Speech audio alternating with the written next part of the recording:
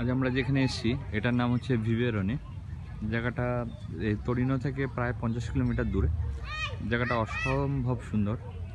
এখানে আমরা প্রত্যেক বছর আসি। এবছরও আমরা চারবার এসেছি। এই জায়গাটাতে এসে সকাল থেকে বিকেল পর্যন্ত খুব অদ্ভুত একটা ফিলিংস এখানে প্রকৃতির কোলে আমরা সারাদিন কাটাই, সকাল থেকে সন্ধে পর্যন্ত। এখানে, তুমি দেখতে পাচ্ছ, এখানে তুমি অনেক পাখি আছে হাঁস আছে এই হাঁসগুলো আমাদের দেশে ওই হাঁসের মতোই কিন্তু এগুলো উঠতে পারে হ্যাঁ? তাছে মাছরাঙা পাখি আছে বক আছে।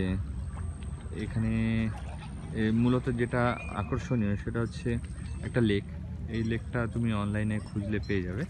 জায়গাটার নাম হচ্ছে ভিভেরনে এ, পিভেরনে ভিভেরনের মধ্যেই পিভেরনে আজ সকালটা আমরা বাড়ি থেকে খাবার বানিয়ে নিয়ে এখানে বসে খেয়েছি। অসম্ভব সুন্দর। এখানকার কোনো এক্সট্রা কোনো চার্জেস দিতে হয় না। সকাল থেকে আমরা এখানে একটা ছোট চাদর এনে বা ঘরে থেকে কিছু খাবার নিয়ে এসে এখানে বসে খেয়ে তার সাথে সময়টা কাটিয়ে ফেলি। পাশেই পাহাড় আছে।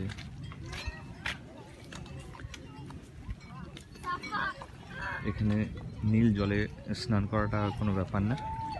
জলের টেম্পারেচার নর্মাল গরমের মধ্যে স্নান করতে গিয়ে যেটা অসম্ভব সুন্দর লাগে যে তুমি কয়েক ঘণ্টা কাটিয়ে দিতে পারো। তার সাথে যেটা আছে, এখানে ছোট ছোট বোট আছে, ভাড়া নেওয়া যেতে পারে। কারও কারও পার্সোনাল বোট আছে যে বোটগুলো এখানে বছরের পর বছর এইভাবেই জলে থাকে। তবে তাদের দেখার জন্য এদের নিজস্ব ব্যবস্থা আছে। এগুলো লাইসেন্স হয়। কেউ বোট নিয়ে মাঝ মাঝখানে চলে যায় জলের মাঝে। সেখানে গিয়ে ওরা মাছ ধরে এবং এখানে বিনোদনের জন্য অনেক ব্যবস্থা আছে। চারিদিক পাহাড়, পাহাড়ের মাঝখানে এমন ব্যবস্থা। লোক সকাল থেকে রাত পর্যন্ত আসতেই থাকে। অসম্ভব সুন্দর Solo il 5 un quarto. দেখলেই বুঝতে পারবে